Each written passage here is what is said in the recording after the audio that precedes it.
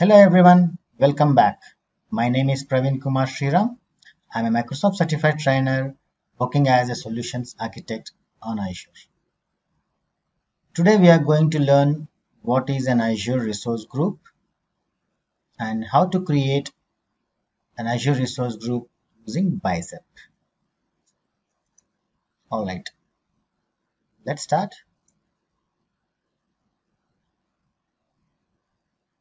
What is an Azure resource group? So first of all, a resource group is created in the context of an Azure subscription. That means subscription is the parent of a resource group. One subscription can contain multiple resource groups. And usually a resource group is created for every project, for every environment. That means if you have three environments, for example, develop environment, staging environment, and production environment. In that case, an individual resource group is created for each environment separately. Of course, this is just an example.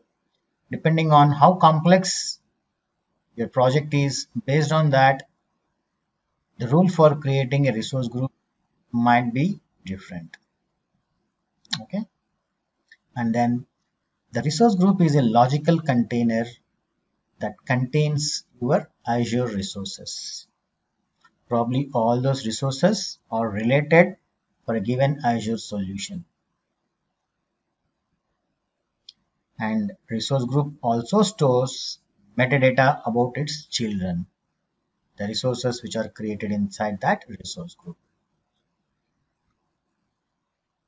And resource group also helps us in sharing access to other team members using role-based access control. For example, let's say in a given resource group, there are 10 resources and you want one of your team members to work on a particular resource or probably all the resources. So what you can do is then just provide them access on top of resource group.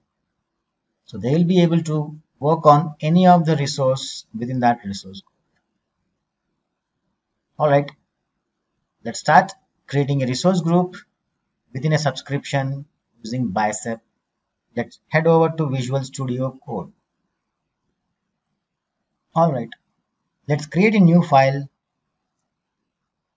for starting the Bicep scripts. I would like to name it as one dot resource group dot bicep. Don't forget to put the extension as dot bicep.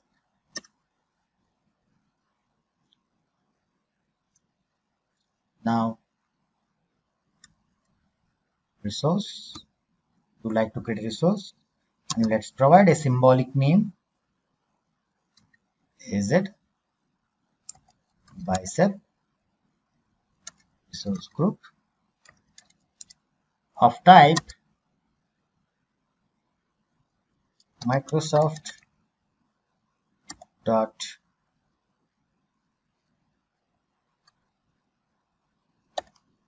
resources slash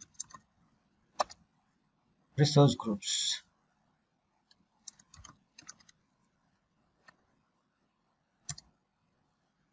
let me try uh, doing it again so that I get IntelliSense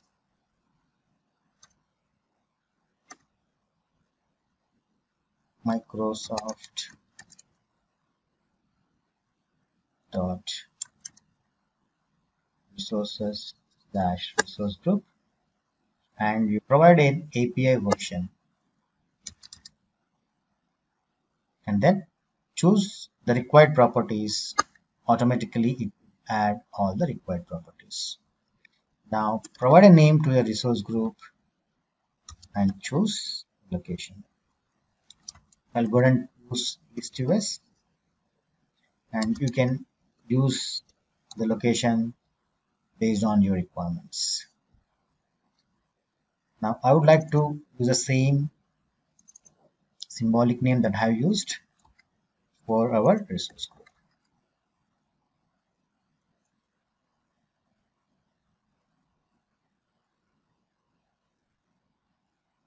And there are some errors. Let's fix them.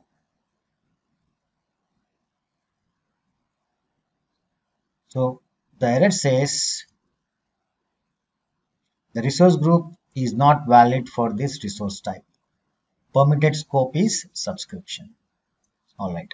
So now as we already learned that a resource group can be created under a subscription. So subscription is the parent of resource group so what we need to mention is we need to mention target scope. Target scope equal to subscription. Now this looks good. Alright, we are done. Let's go ahead and execute this script. Go to terminal.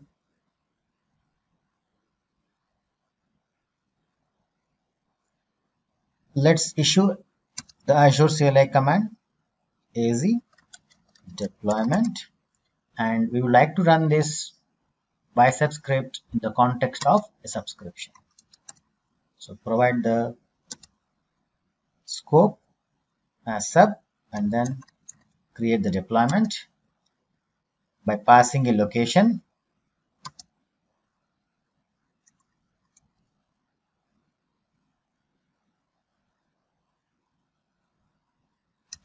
and then the file name is one dot source group dot bicep and press enter.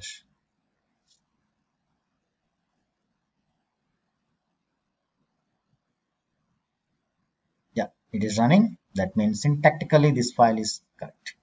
Now let's navigate to our portal and choose a subscription. And then within the subscription search for deployment.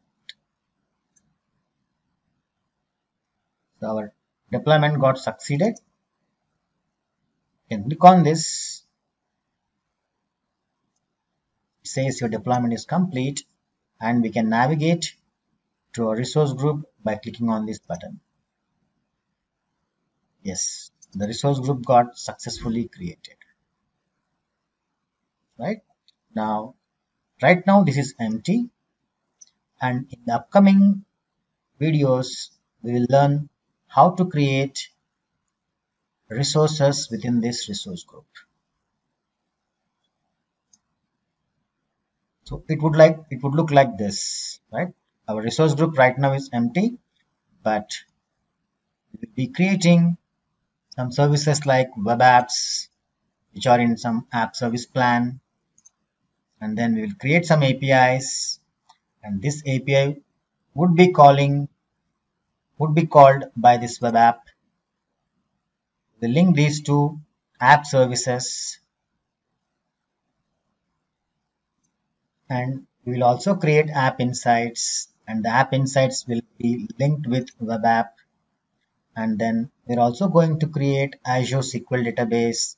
And that will also be linked with web app and then we will create a storage account which will also be linked with web app. And then we are going to also create a redis cache which will be again linked with web app. And finally we will create some azure functions which will be used as background services. In the upcoming videos we will be creating all these resources using bicep. That's it for today. Thank you